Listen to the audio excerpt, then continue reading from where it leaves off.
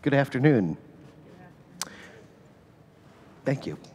Uh, my name is Ben Bachmann. I'm the Canon Director of Music at Grace Cathedral, and I welcome you all to this afternoon's organ recital.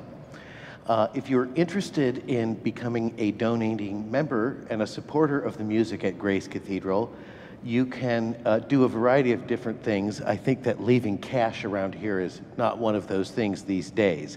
But if you look in your program, you can see many different ways that you can become a supporter of the program. And you can also look at the upcoming offerings that we have in way of organ recitals.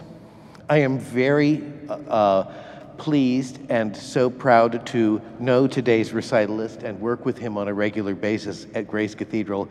He's a very fine player, a very fine accompanist, a wonderful colleague, and a good friend. And so I would like you to heartily welcome today's organ recitalist, Christopher Keady.